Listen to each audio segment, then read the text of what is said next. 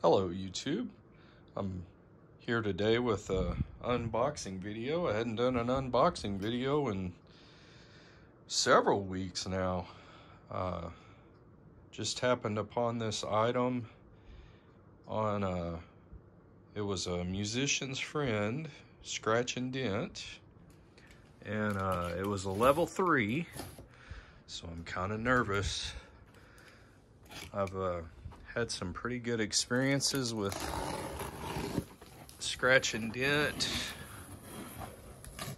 And uh, most of the time I try to find the ones that are level two. Uh, this one just happened to be a level three, so as you can see, I hope it has that great, great Gretsch sound. Okay. See I can do this one-handed.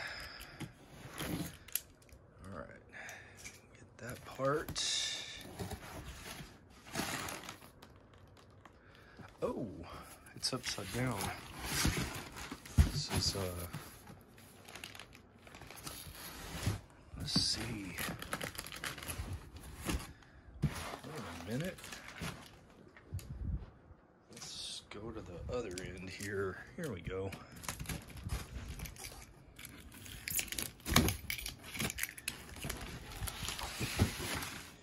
Okay. Almost dropped it. Wow. This thing's uh, packed really well.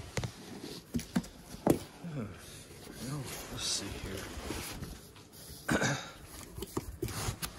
This is one of those kind of slide out things. All right, here we go. The big reveal.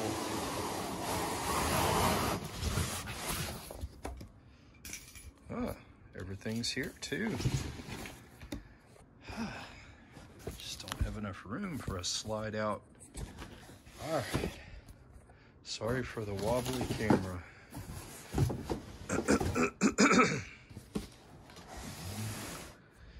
Whew.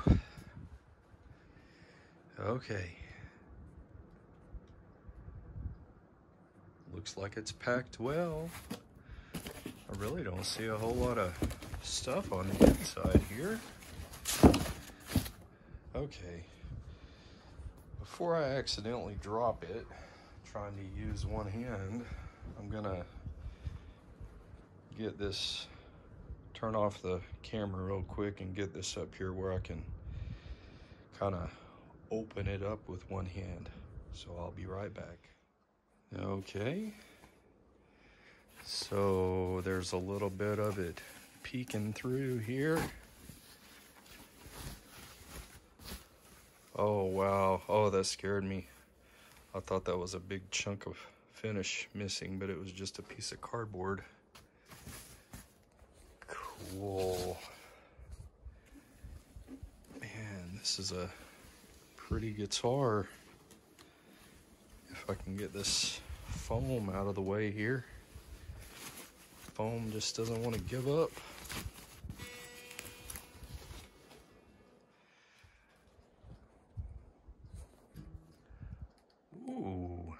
That's a nice touch. Gold logo.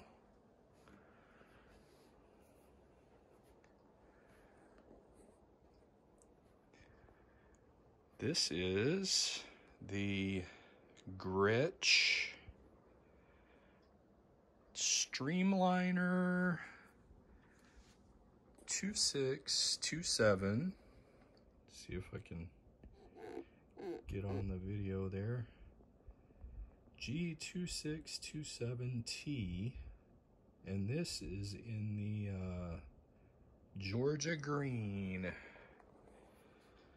From what I understand, this is an exclusive model and there's really not any information at all about it anywhere. Man, that color's pretty. That's cool.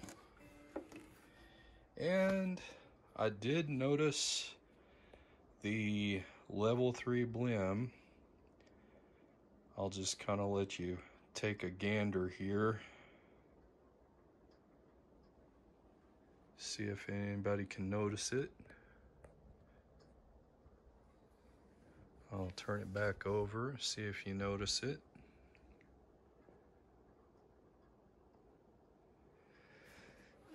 And one more time before I reveal. I'm sure some of you eagle eyes out there have noticed it.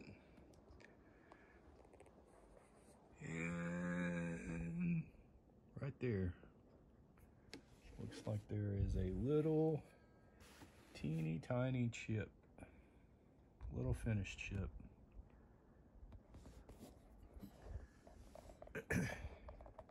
And I didn't notice that, but yeah, looks like it, looks like it might have taken a hit right here.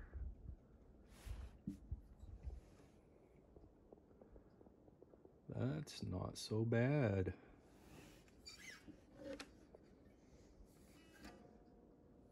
Yeah, that actually should be a pretty easy fix.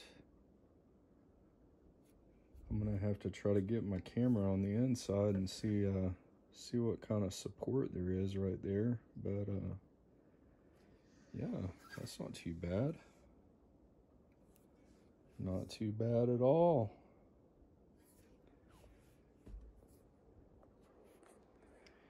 So that is a pretty good example of what a level 3 blem looks like. Not a not a major deal breaker and the cool thing about it is the location of it.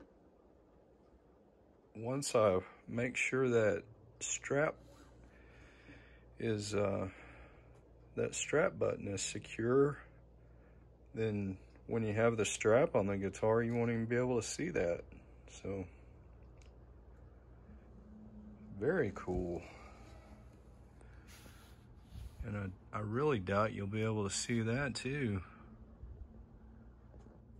Be interesting to see if I can locate some kind of touch-up paint or something for that, but needless to say, I'm pretty, uh, pretty excited about this. It's a beautiful guitar. Always loved Gretsch's.